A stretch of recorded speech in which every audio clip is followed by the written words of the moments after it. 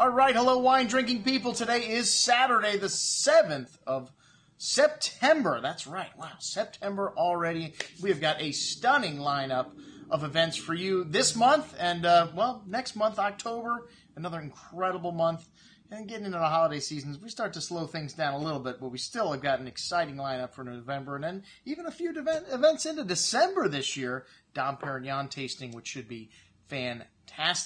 Well, we've got this event that just popped up on the calendar a few weeks ago with two great producers from Kobrand's portfolio, Tenuta San Guido, uh, the maker of Sassicaia, which Sassicaia is the very first Super Tuscan. A lot of people will credit Piero Antinori with that with this Tignanello, but actually um, Sassicaia's first commercial release was 1968 and this is a, a, winery on the Tuscan coast in the Maremma area, and an incredible property. In addition to being, uh, you know, having vineyards there, they've also got a bird sanctuary.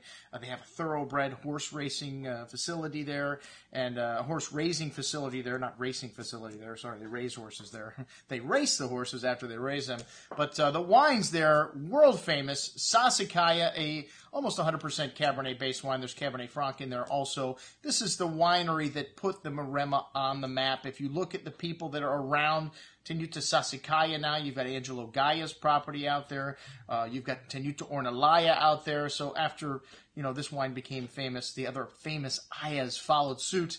And, uh, you know, this is one of the iconic wines of the world, not just Italy. When you look at great wines, Tenuta Sassicaia is sold the world over. So it's very exciting to have um, Alberto Chiarlo, uh, one of the Chiarlo family, and then Marco Sorio will be at dinner. Uh, two great producers, an evening not to be missed.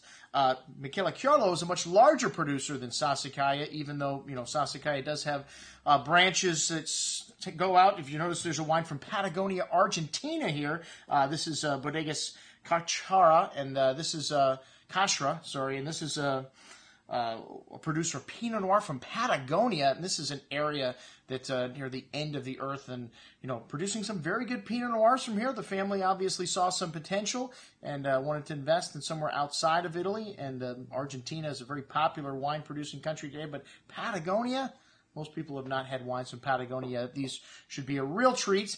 And then, like I said, Chiarlo, we've got some of their top wines. Even though this is a big producer, they do make some very high level wines, also like the Barolo Cerequio that we'll be having one of the top vineyard sites in the Barolo zone for the Nebbiolo varietal. We've also got some Arneis on the table tonight.